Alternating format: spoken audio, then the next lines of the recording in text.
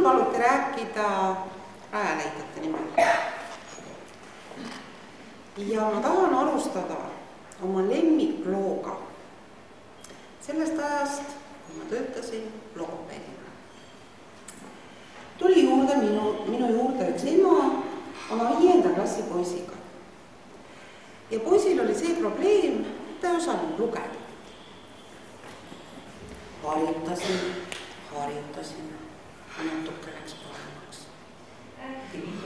küsin ema käest, et äh, kuidas ta siis äh,, kuidas ta siis viiendasse klassi, et mida te täpselt tegite või kuidas te tegite, et ta viiendas klassis on?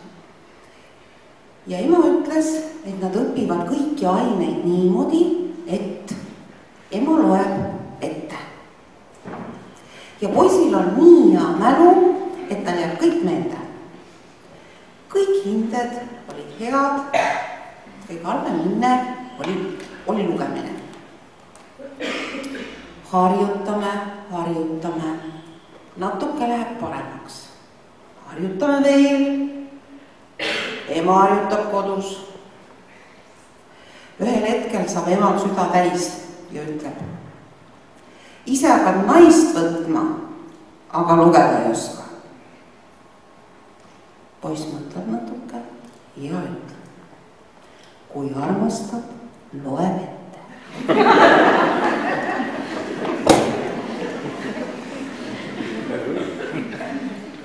suurepärane, on ju? mida see ema siis reaalselt tegi? ema märkas ja reageeris. võttis personaalset aega oma lapse ja reageeris väga targalt, kasutades poisi tugevust. poisi tugevus oli mälu. ta kasutas tema tugevust ülesaamiseks sellest, mis poisil oli raske. see on suur tarkus ja samas harjutas ka järjepidevalt lugemist. vot selliseid tarkuse terakesi tahame meiegi Rajaleidjas leida ja teha.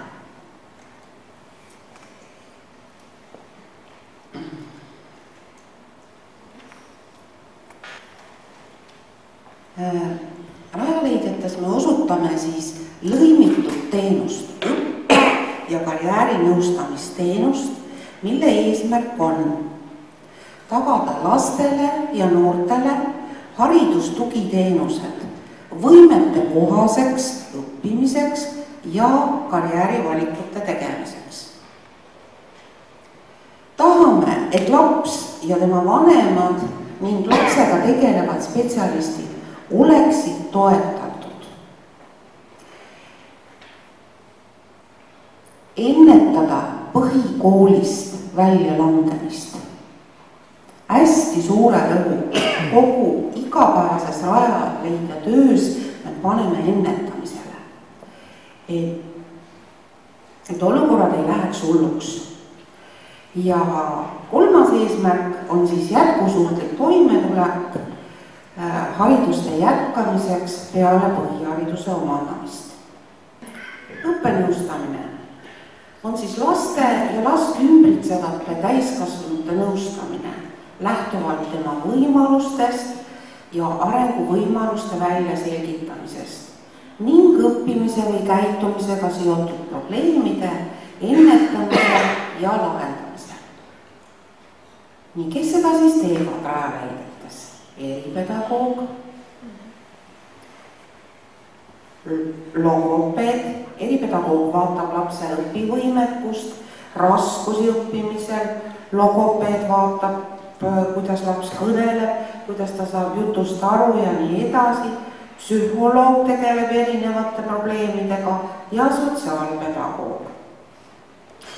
et ja kindlasti me kasutame ka selliseid viise, et last nõustavad last uurivad, hindavad ja nõustavad erinevad spetsialistid. et oleks võimalikult vajadusel muidugi erinevatest valdkondadest laps saanud abi. ja kuidas see siis käib? kõigepealt tehakse lapse hindamine, siis kaardistatakse reaalne olukord ja siis hakatakse tegutsema, et ma sellest räägin ka natuke hiljem. ja oluline on siis meie jaoks kolm valdkonda, sotsiaal, tervishoiu ja haridusvaldkond. Et tegeleda nende kolme valdkonnaga. õppenõustamisjuhtumi haldamise protsessist ka ma räägin. et äh, kõigepealt on pöördumine, pöördumine võib siis olla erinevate osapoolte poolt, kas siis äh, õpetaja võib meie poole pöörduda murega, lapsevanem võib pöörduda, lastekaitsespetsialist ja nii edasi. Vastavalt siis sellest pöördumisest me arutleme koos, et kes võiks olla juhtumi haldaja, mis eriala esindaja. siis toimub nõustamine, vajadusel hariduskorralduslik soovitus ja järeltegevused. nüüd ma räägiksin natukene, natukene täpsemalt sellest, et äh, mis on siis haridusliku meetme soovitamise alused. Kõige olulisem on äh, lapse ja tema lähedastega koostöösuhte loomine. see, et, et äh, täiskasvanu saab aru, et me oleme tema aitamise jaoks ja, ja me mõtleme tema keskselt ja et ta saaks aru sellest, et me reaalselt lähtume lapse huvidest. et lapse, lapse huvid on meil kõige tähtsamad, et kuidas tema toime tuleb. Siis äh, osapoolte ootuste täpsustamine ja püstitame üheskoos ühised eesmärgid. et mida täpselt me siis tahame, millised ootused on lapsevanemal, mida meie näeme, kuidas, kuidas seda teha, toimub siis läbi olukorra kaardistamise, vajaduste ja ressursside väljaselgitamise. kindlasti me loome siis äh, võrgustiku ja võrgustikud siis vastavalt sellest, keda siis sellel hetkel on nagu vaja kaasata. et on need siis äh, lasteaia või kooli tugispetsialistid, õpetajad, lastekaitse, sotsiaaltöötajad, kriminaalhooldus äh, esindajad, meil on olnud, et väga-väga erinevad inimesed on olnud siis ümarlaudades, kus me arutleme, arutleme parimate lahenduste leidmise üle. Mm, vajadusel siis suuname lapse nõustamiskomisjoni, et talle hariduslikku, hariduslikku meedet soovitada selle haridusliku meetme, nagu ma ütlesin, et me siis eelnevalt arutleme läbi haridusasutuse esindajatega, vanemaga ja lõua, jõuame siis sellisele ühisele konsensusele selle soovituse osas. ja juhendame ka siis äh, täiskasvanuid selle haridusliku meetme rakendamisel. Ja jõustamisel, ka õpetajate jõustamisel, et tegelikult õpetajad vajavad ka väga palju tuge ja, ja tahavad, et, tahavad, et äh, nendele nagu üsna üksipulgi need asjad lah, lahti seletatakse. ja, ja siin oli nagu eelnevalt juttu, et see ei juhtu alati ühe korraga, siis, siis me teeme neid selliseid juhendamisi ikkagi korduvalt teeme individuaalseid ja võtame vastava eriala grupid kokku, teeme neile. mida ma pean väga oluliseks ja tähtsaks, on siis äh, järeltegevused. järeltegevused siis äh, nagu selles suhtes, et me vaatame, kuidas täpselt siis on seda hari-, soovitatud hariduslikku meedet rakendatud ja, ja see on ikkagi tehtud väga, väga niisuguses nõustamise laadis, et kuidas täpselt vastavas koolis tehakse või vastavas äh, lasteasutuses, et me saame veel nõustada, jõustada õpetajaid, et kuidas täpselt seda teha ja motiveerida õpetajaid, et sageli õpetajatel noh, tekivad raskused ja takistused ja, ja siis nad vajavad veel täiendavalt abi. ja kui on vaja midagi muuta, siis me vaatame selle üle ja, ja teeme siis sinna veel täiendused. nüüd äh, aeg-ajalt äh, on meil olnud äh, koolidega arutelusid, et äh, kuidas see siis nii on läinud, et osasid hariduslikke meetmeid rakendatakse ja teisi rakendatakse vähem. et aga me oleme ikkagi väga sihikindlad oma järeltegevustes ja ega me siis nii kergesti nagu, nagu järgi ka ei anna, et ikka läbi rääkimise ja läbi nõustamise ja veenmise me jõuame ikka ühisele konsensusele ja ikka, ikka nii kaugele, et see et see hariduslik meede oleks rakendatud. nagu ma enne ütlesin, on hästi oluline nagu kolme valdkonna kaasamine. selleks, et me saaksime teha haridusliku meetme soovitamist, on meil väga tihe koostöö lastekaitsetöötajatega. et äh, ma tahan küll tõeliselt kiita Viljandimaa lastekaitsetöötajaid ja ja sotsiaaltöötajaid, kes on meil alati ümarlaudadel oma mõtete ja ettepanekutega. Ja kindlasti on see samamoodi ka teistes maakondades. et äh, mis on siis sotsiaaltöötajate, miks nad on nii olulised, on see, et äh, nemad teavad seda lapse kasvukeskkonda, äh, millistes tingimustes ta elab kuivõrd saab vanematele loota, millist tuge nad vajavad, millist äh, vanemate koolitust, nõustamist, et mida nad vajavad täiendavalt juurde.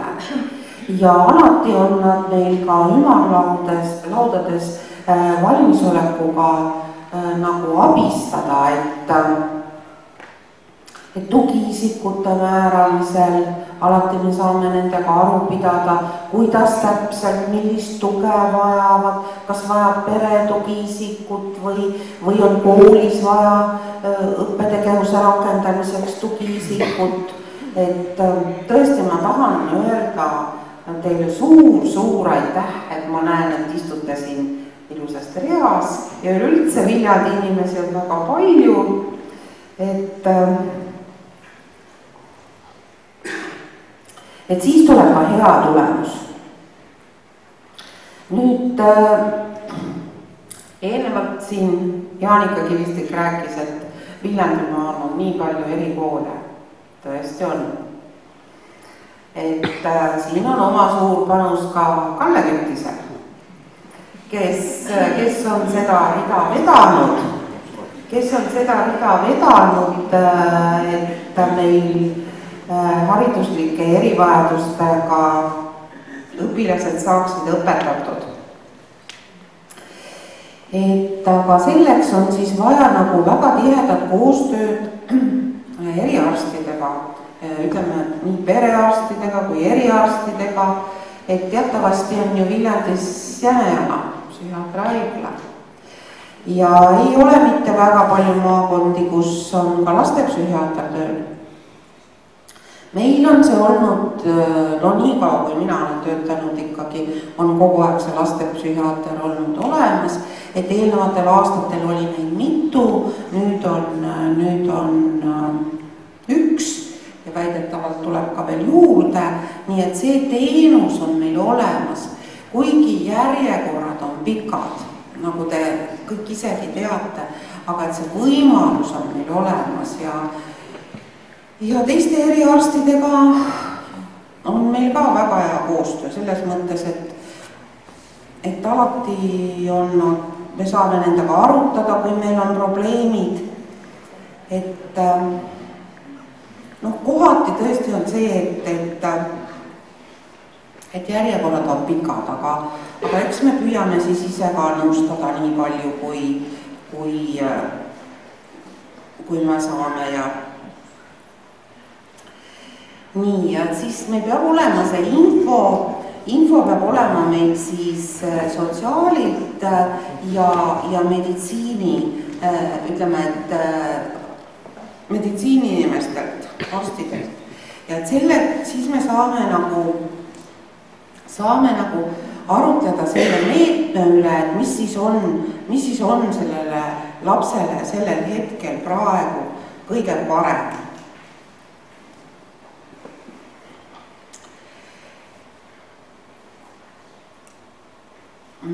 Ja koolis siis, mida me siis koolis vaatame, et koolis me vaatame seda, et, et kuivõrd on äh, lapsele rakendatud erinevaid tugimeetmeid.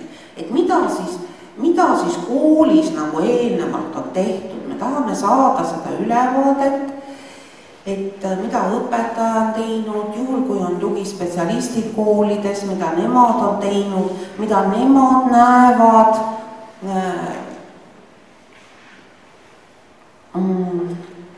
et arutame nendega läbi, et äh,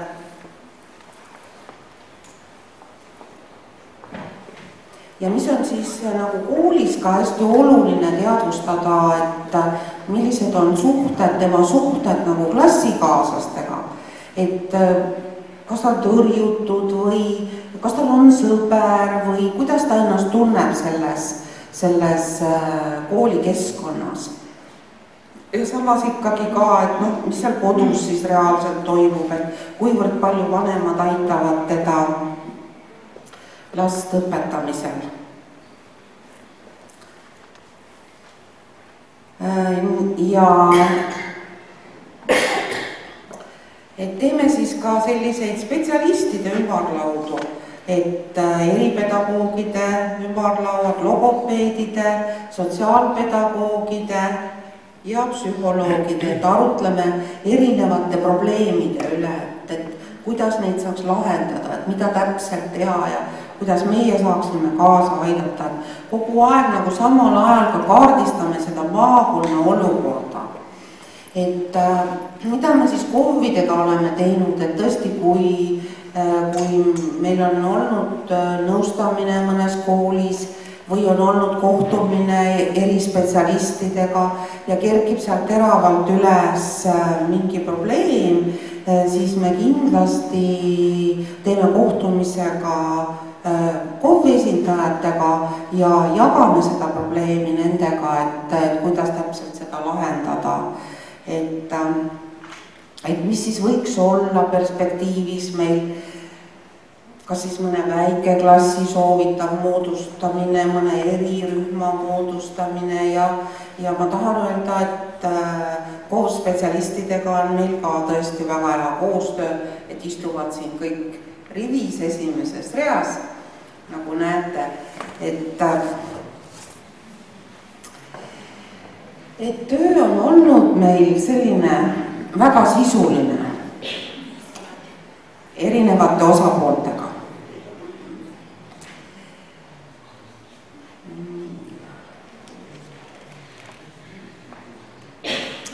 et oluline on hinnata siis, siis lapse toimetulekut kolmes erinevas valdkonnas haridus ehk toimetulek koolis, meditsiin ehk tervislik seisund ja sellest tulenev toimetulek ning toimetulek sotsiaalruumis. ehk lapse toimetulek igapäevases elukeskkonnas. ja nüüd uue PGS-i valguses see annab meile siis võimaluse suuremaks paindlikkuseks, veel suuremaks paindlikkuseks. et, et me läheneme lapsele individuaalselt, et me märkame tema erisusi, me toome esile tema tugevused ja läbi nende tugevuste siis aitame tal üle saada ka tema raskustest. et see on nüüd väga suurepärane, et on võimalus siis moodustada, moodustada rühmi, rühmi vastavalt siis sellele, rühmi ja tunde ja et vastavalt sellele, mida siis laps täpselt hetkel vajab. siis suureneb sidusus, sidususe võimalus ja infovahetus, et see nüüd nagu siin ka eelpool mainiti, et hakkab olema üks nõustamiskomisjon, et see siis ka võimaldab nagu infovahetust kiiremini.